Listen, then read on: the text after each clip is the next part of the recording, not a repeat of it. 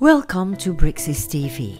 In this movie, you will learn how you can create XREFs by dragging drawing files from Windows Explorer onto the BricsCAD window. In Windows Explorer, I select the drawings. Press and hold the right mouse button and drag the selection onto the BricsCAD window. Release the right mouse button and choose Create XREF in the context menu.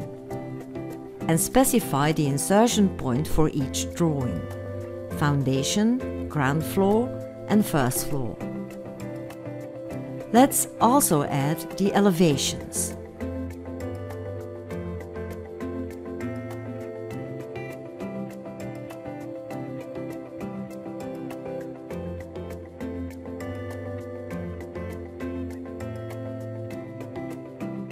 And the sections.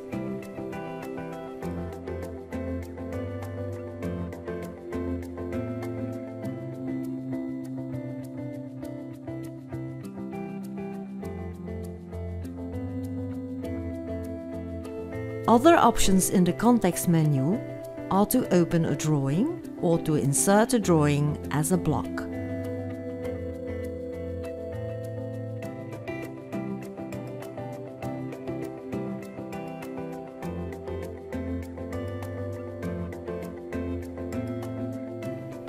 The insert procedure also applies to images or PDFs.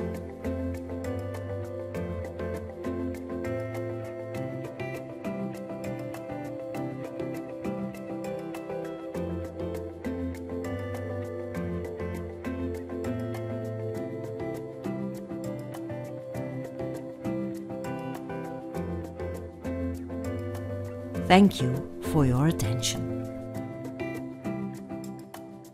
Download the free trial version of BricsCAD at www.bricsys.com and check it out for yourself.